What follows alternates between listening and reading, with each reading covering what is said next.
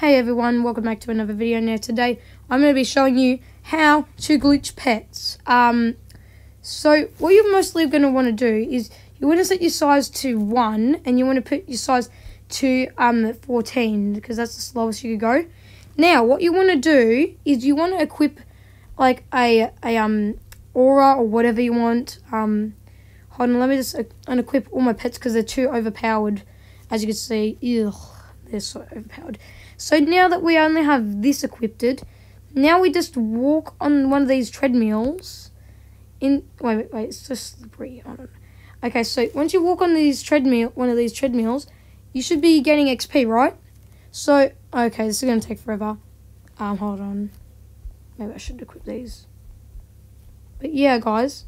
So so when you're getting experience, as you can see here, like how how like whenever whenever it's about to level up, you just want to spam tap or spam click or whatever the on the thing. Like you see how it's like like how I'm actually tapping it right now. I'm interacting with it, and then and then it will glitch out. So then you're actually getting more stats on it when you're not even leveling it up.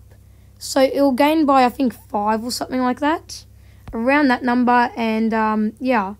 So obviously it's too it's too strong to be leveled up too quickly.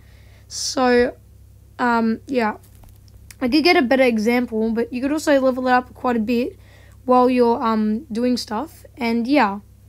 So and and whenever whenever you want to stop it, you, you could also come off, but then you could also get back on again because it won't stop the glitch.